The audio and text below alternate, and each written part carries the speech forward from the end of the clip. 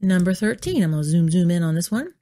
Figure is not drawn to scale. and the figure shown, line C intersects parallel lines S and T. What is the value of X? So they are testing your knowledge of parallel lines and transversals. That's what you would look up if you are trying to find reference on this.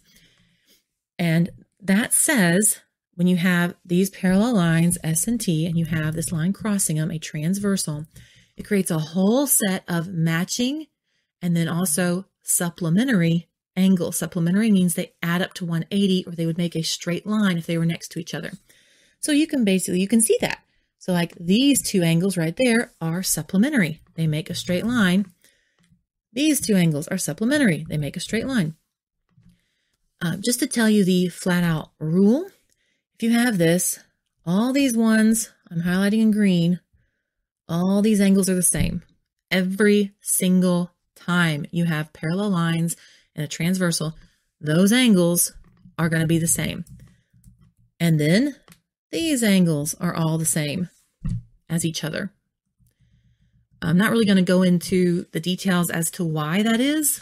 That's a topic for another video to really explain the details as to why that is, why we know that's true. But that's the rule they want you to know for this problem. So there, and there's a whole bunch of ones. You'll have like alternate interior angles are congruent.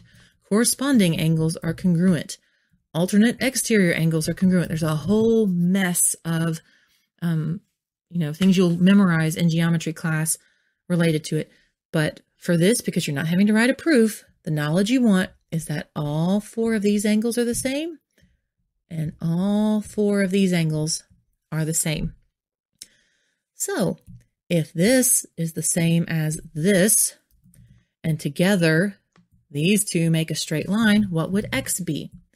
And look at it over here. If this is 110, and that is x, what is x going to be? Together they are 180. So 110 plus x equals 180.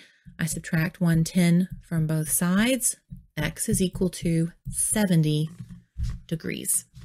If this was helpful or useful in any way, please like, share, subscribe. You know the drill. Thank you so much for stopping by. Hope you have a great day. See you later. Bye.